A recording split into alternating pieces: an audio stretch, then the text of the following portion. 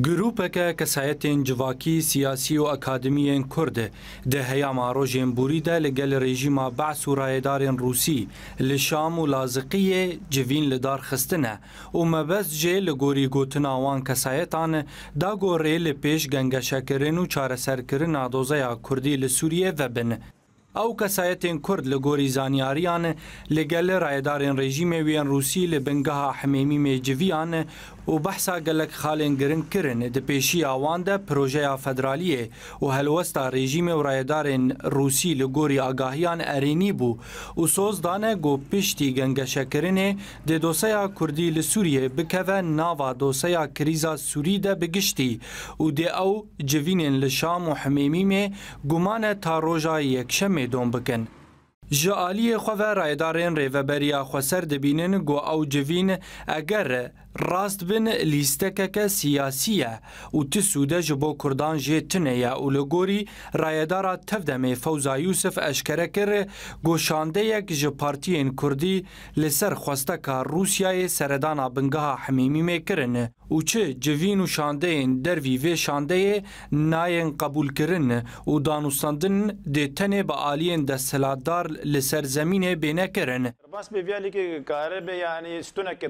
Yek ji کەسایەتێن گۆلشامێ بەشدار بوون ئەوە دەکتۆر فەرید سعدون گۆژ ئۆریەنت نیوزرە گوت ئەو لەگەل بەرپرسێن ڕێژیمێ و نویزگەها بەشار لە ئەسەد سێ خاڵ تانەها گەنگەشەکردە دپێشی ئاواندە دەسهلاتا خۆسەری و پرسگرێکا چەپەرە عەربی ئانژی غەمڕ هەروها خاڵە هەبوونا کوردان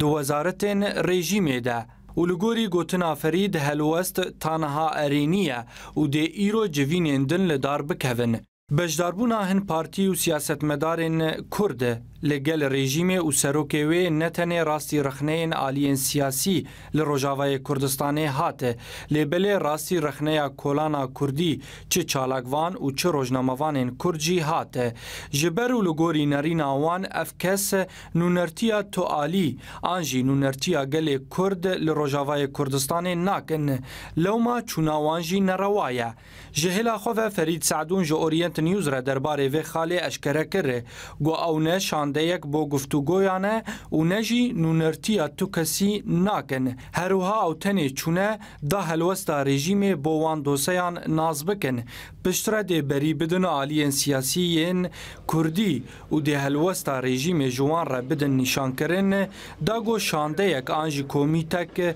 وره آوا کرن او لگل رژیم دوزیا کردی گنگشه بکنه